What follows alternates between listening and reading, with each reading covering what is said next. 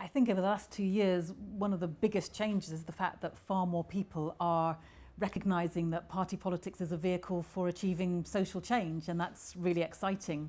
A couple of years ago, we had the, the green surge, and obviously Labour's had a much bigger surge.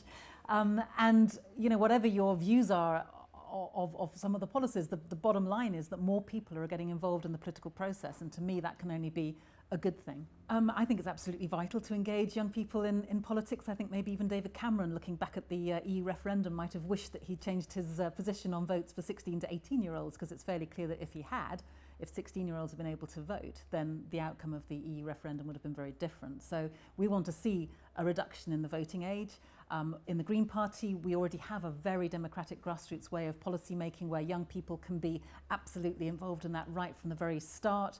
The Young Greens have a, a position on our executive. I can't comment on what's happening in the Labour Party, but I imagine similar kinds of processes are involved so that young people can have a bigger voice in the policy making process within Labour as well. And so to me, it's about trusting young people essentially. And I think that if we can demonstrate that we trust young people and want them to be genuinely involved in all of the party political processes, then, then that will be rewarded by, by more young people coming in.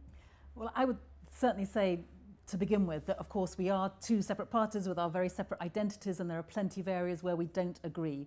But everybody knows there are plenty of areas where we don't agree and what interests me more is where can we identify where we do agree and where can we work together, particularly in my view, to try to save my constituents, at least in Brighton, from another 5, 10, 15 years of Tory rule. When I see what this government's been doing, just even over the last you know, few months, let alone the last few years, then that is rolling back the welfare state. It is penalising people on benefits. It's absolutely about attacking people with disabilities. It's about ignoring the environment and climate change. The list goes on.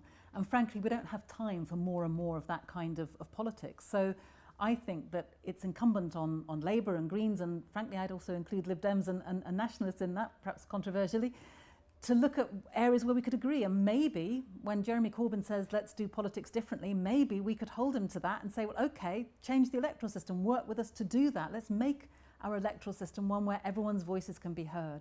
I think on some of the other areas we could find areas of agreement too, whether that be standing up for migrants, whether it be hopefully on some of the urgent action that we need on climate change. So we're separate parties, we will always be separate parties, we are very distinct and we keep our identities, but it seems to me that we are letting our own constituents down if we fight each other for the sake of it, where sometimes if we had a bit more collaboration, we could actually save them from the worst of Tory rule.